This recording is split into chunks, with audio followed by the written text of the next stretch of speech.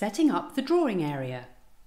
Vectorworks Landmark has some very sophisticated tools for laying out presentation drawings.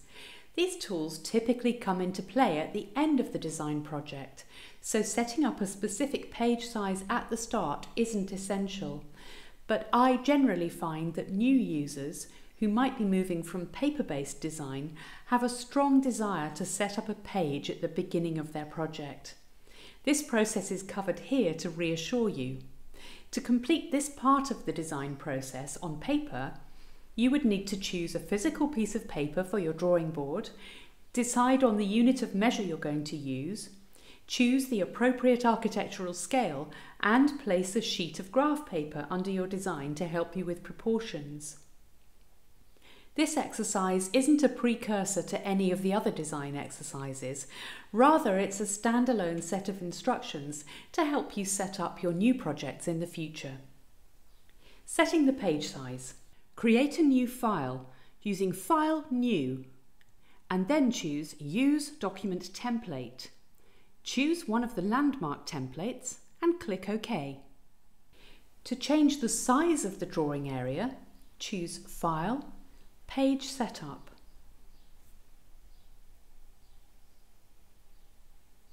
If you'll be printing on a printer that's already installed in your office, choose Printer Setup and then choose the printer and relevant page size. Alternatively, if you'll be sending the file electronically for printing on an unknown printer, check Choose Size Unavailable in Printer Setup and then choose a standard paper size to suit your needs. The list includes US sizes and international metric standard sizes. Click OK. The page area will resize. Click Fit to Page on the view bar to see the page boundary. Click Show or Hide Page Boundary on the Quick Preferences bar to control the visibility of the page boundary. Choose File, Page Setup and uncheck Show Page Breaks. Click OK. Setting the unit of measure. Choose File, Document Settings, Units. Choose the appropriate length, area, volume and angle units of measure for your geography and the project. Click OK.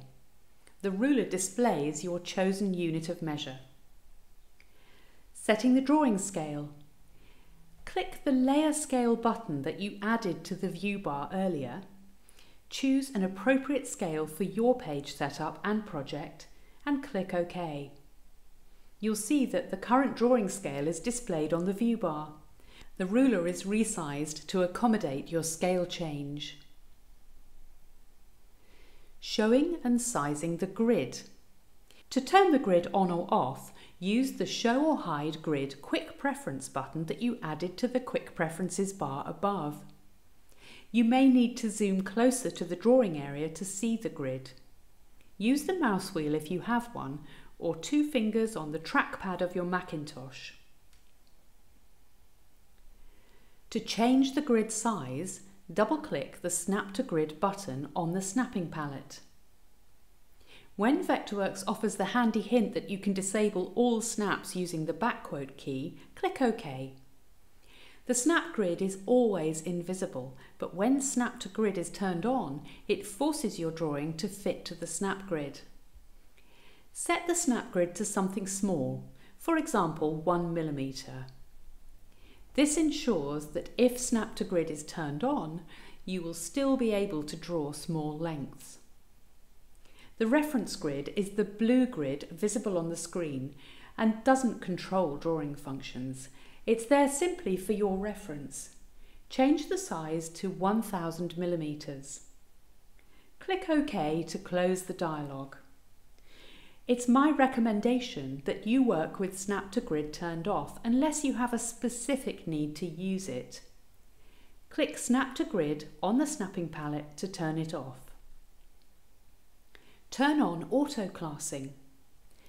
Vectorworks uses a function called auto-classing to automatically classify certain objects you draw to help you distinguish them from other types of objects on the screen. You'll see classes in action later, but to turn on auto-classing, choose File, Document Settings, Standard Naming. On the dialog, check the Enable Auto-Classing box, click OK to close the dialog.